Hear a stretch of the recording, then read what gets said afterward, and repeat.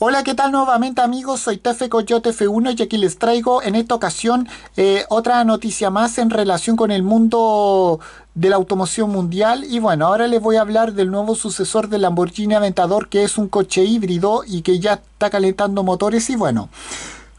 como sabemos, el nuevo eh, coche atmosférico tipo V12 de la marca domiciliada en Santa Gata Bolognese, o sea Lamborghini, eh, ahora acompañado con tecnología híbrida enchufable, reaparece por España eh, mostrando ya algunos de sus detalles antes de su, estreno, de su estreno el año siguiente, o sea 2023. Y bueno, vamos a hablar un poco de aquello. Bueno, como sabemos, el Lamborghini Aventador ya lleva, ya lleva algún tiempo despidiéndose dentro de la línea de la firma automotriz italiana, como bien se ha mostrado con versiones como el Aventador LP784 Ultimate, que actuaba como versión de despedida de este coche y bueno, de la misma manera que se lleva eh, tiempo avisando de que eh, detrás de él llegará un sucesor que por primera vez poseerá un punto de hibridación que se acerca a la electrificación a la línea actual de la marca automotriz eh, domiciliada en Santa Gata Bolognese luego del anticipo que supuso su exclusivo modelo Cian. Y bueno un nuevo modelo Lamborghini tipo V12 híbrido eh, del que se ha oído hablar mucho en los recientes años y que forma parte del nuevo plan de la marca automotriz domiciliada en Santa Cata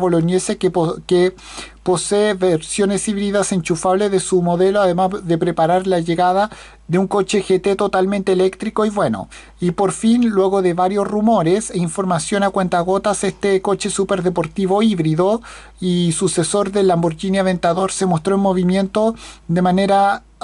anticipada hace algunos meses gracias a estas eh, fotografías que sacaron los espías de esta misma página web, o sea, Caran Driver España, que pudieron cazar a este coche poniéndose en una pista de alta velocidad. Ahora el primer modelo eh, tipo V12 híbrido de Lamborghini de la historia dentro de la línea habitual eh, se entiende, reaparece nuevamente y mucho más cerca a diferentes niveles porque porque también de porque aparte de aparecer en carreteras públicas lo, lo hizo precisamente en España. Bueno, como se puede ver, este nuevo coche superdeportivo está cubierto por una densa cantidad de camuflaje todavía, aunque se puede ver ciertos detalles que ya lo diferencian del modelo aventador habitual. Lo poco que se ve eh, de sus faros anticipan un diseño más estilizado y horizontal y sobre todo una zona baja del parachoques o paragolpe como quieran decirle con splitters y difusores con nuevo diseño eh, posee ahora posee un aspecto mucho más agresivo especialmente la parte posterior donde se encuentra también eh, con una cuádruple salida de escape o escape o tubo de escape como quieran decirle bastante elevada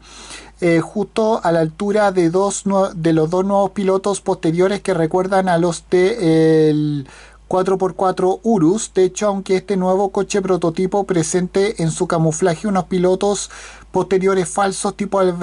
tipo Aventador, eh,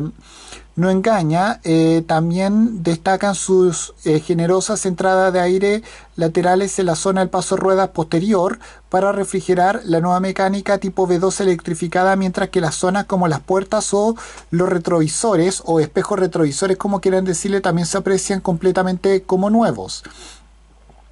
Una nueva mecánica que, como ya se adelantó, mantendrá como, como parte técnica, o sea, como parte térmica, un motor V12, eh, un motor totalmente atmosférico tipo V12, aunque este propulsor será completamente nuevo, como adelantó el año anterior el mismísimo Stefan Wilkeman, quien es el CEO de la marca con cuartel general domiciliado en Santa Cata Bolognese y bueno.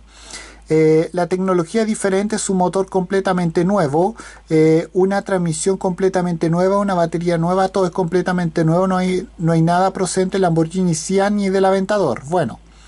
pese a que su aspecto pudiera indicar lo contrario, la llegada de este sucesor del legendario y ya veterano modelo Aventador está bastante, ya bastante cerca, con un lanzamiento previsto de cara al año 2023, al que debería preceder de de un debut de manera oficial que marcará una nueva era dentro de la marca automotriz con cuartel central domiciliado en Santa Cata Bolognese. Y bueno, con esto me despido. Adiós, que me fuera. Chao.